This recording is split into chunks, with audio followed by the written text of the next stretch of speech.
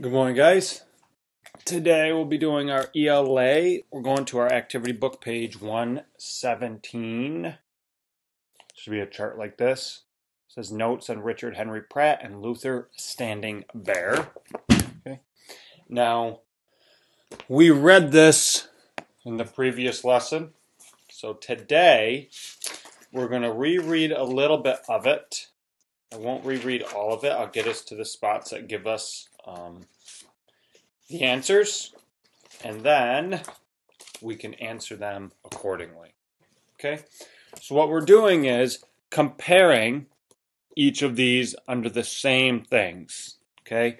Same uh, topics. So, an example of comparing someone would be like comparing the color of my shirt to the color of someone else's shirt, or the comparing the color of my hair to someone else's hair. You'd have you may or may not have two different answers, but um, you're comparing two different things. Okay, whether it's a difference or it's a similarity. So today on this one, they want us to compare Richard Henry Pratt and Luther Standing Bear. The first box says experience is a young person that shapes him. The second is the relationship to the Carlisle Indian industrial school, and the last one is the reaction to the idea of abandoning Native American culture. Okay, so it might sound a little difficult at first, but I'll go through each of these and get you all your answers um, as long as you follow along with me. Okay, so they had already filled in the first one under Richard Henry Pratt. They put an example had to leave school and work in order to provide for his parents. They already filled that in. So now we need to find out what kind of experience as a young person shaped Luther Standing Bear? So I will go to Luther Standing Bear first. So we can figure out his experience. Let me where um okay. So here we go. When Luther was born, he was named Plentykill because his parents thought he had the heart of a hunter and warrior. He was born in the Black Hills of South Dakota in 1868. Back then, many Lakota and other Sioux tribes were still at war with the U.S. Army. Plentykill lived on a reservation. Does that tell us yet experience that shaped him? No, that's what all of them went through. But he was raised according to the old traditional ways. He learned to hunt buffalo and ride a horse. He also learned to fight. Plentykill's father was a great warrior. He called the U.S. soldiers long knives because of the swords carried by the cavalry officers, officers like Richard Henry Pratt. When Plentykill was a boy, his father made a bow and arrows for him. The bow and all the arrows were painted red as a sign that his father had been wounded in battle. Plentykill grew up expecting that he too would someday fight and possibly die in battle along with the, against the long knives. However, his father did not really want his son to become a warrior. Like many other Lakota, he was tired of fighting. Instead, he wanted something different for his son. Okay, here we go. Then one day, Richard Henry Pratt came to talk to them about the Carlisle School. Pratt took Plentykill's father and other tribal elders to visit the new school. On a trip, they also went to New York City, Washington, D.C. They met the President of the United States, the grandfather of the Long Knives. When Plentykill's father returned from his trip, he said, My son, since I have seen all those cities and the way the Long Knife people are doing, I begin now to realize that our lands and our animals are all gone. There is nothing but the Long Knives everywhere I went. And they keep coming like flies, so we will have to learn their ways in order that we may be able to live with them. You will have to learn all that you can, and I will see that your brothers and sisters follow on the path that you are making for them. Someday I want to hear you speak like these long knife people and work like them. So, Plentykill went to Carlisle, Pennsylvania, along with 146 other Native American children. There he chose his first name, Luther, at random. He could not yet read, but the teacher ordered him to choose it anyway, and Luther was the one he chose. So the teachers forced all the boys to cut their hair. The boys were very angry, did not understand. But after their haircuts, the children also received new clothing. They had never worn this touch, the, the tight, scratchy garments, and they were very uncomfortable. The worst part is that they were not allowed to speak their own language. The children were only allowed to speak English. Luther was a very fast learner, though, and he grew to enjoy reading and writing. So, his father did not want him to become a warrior. Okay? So Luther, what shaped him is he wanted to learn how to do what? Read and write. Okay? So this is how your sheet looks like. Okay? And then you have boxes over here. Then you have like writing in here. I did two different boxes. Okay. And this is stuff that's already there. Experience as young person. Okay, you already have that relationship.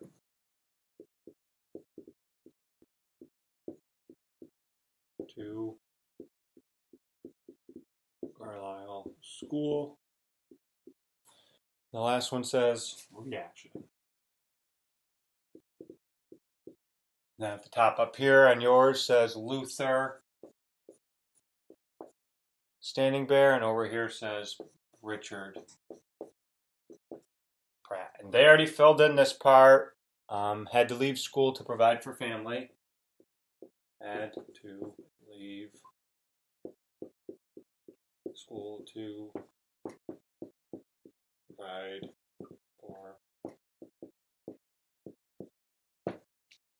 Everything's filled in for you. Now I will write in blue for us all, teal. Okay, the answer. So experience as a young person. What did Luther want to do? He realized that he wanted to learn to what? Why did he want to go to this school and whatnot?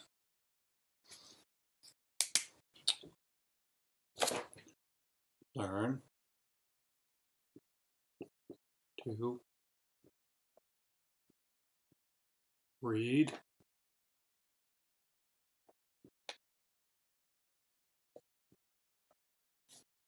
Learn to read and write. Okay. The next one is the relationship to the Carlisle Indian Industrial School. So,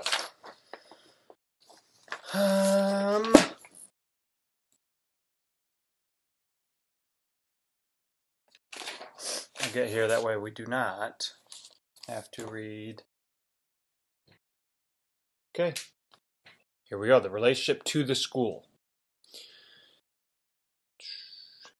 Pratt gathered support for his idea and eventually he convinced Congress to give him some money to open an experimental school. The U.S. Army agreed to let him use an old barracks in Carlisle, Pennsylvania. Pratt converted the buildings there into the Carlisle Indian Industrial School. At this school, Native Americans were learning to speak, read, and write in English.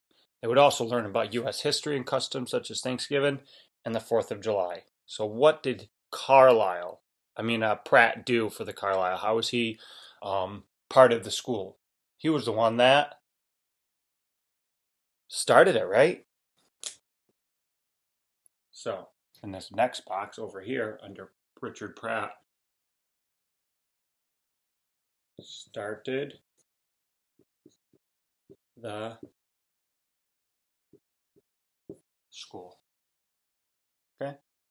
And what did we already knew about Luther Standing Bear. We already read a little bit about it. Where was how was uh, Luther Standing Bear related to the Carlisle School? What did he do? He attended it, right?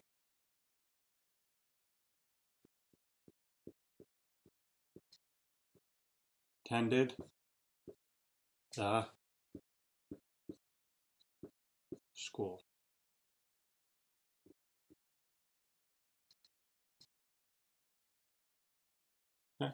He attended it.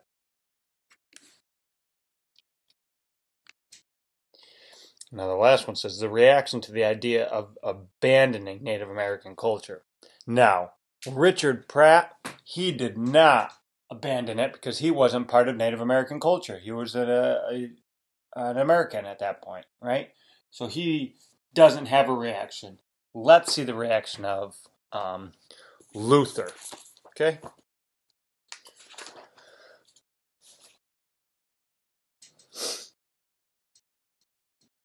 Luther went on to live a full and fascinating life. Despite efforts by Pratt and the teachers at the Carlisle School, Luther never forgot his native language and customs. He never cut his hair again either, and he did not think any other Native American should have to.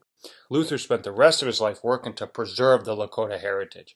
He wrote books and gave speeches, and he even became a movie actor. He tried to make sure Hollywood film directors portrayed Native Americans in a fair, honest way instead of always presenting them as villains or savages. Luther believed in the importance of education and he was always grateful to Pratt for that chance to attend his school. However, Luther did not agree that Native Americans should abandon their culture. So, the reaction was he okay with people abandoning Native American culture? No.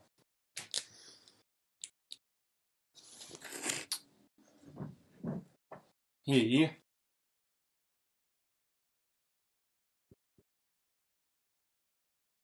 believed in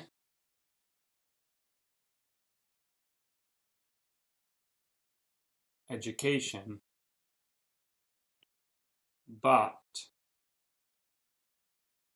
not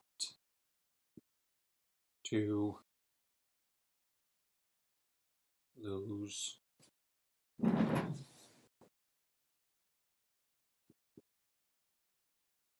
customs. Okay? He did not want to lose the customs.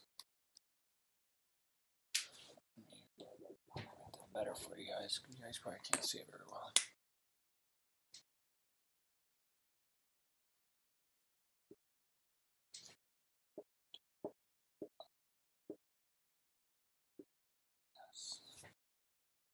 Okay? So that is for the work today. Okay? Tomorrow. Oh, wait. Yeah, tomorrow we'll answer the questions. Okay? Tomorrow we got these two questions we're going to answer. Tomorrow. Okay? So you guys have to keep getting this work done. You can't skip out on this work. It needs to be done because we've been announced now that school is going to be closed for the rest of the school year. So this is how we're doing the rest of the school year, and we don't want to fall behind in any way, right? So if you need help, ask me, but you have to get this work done, right?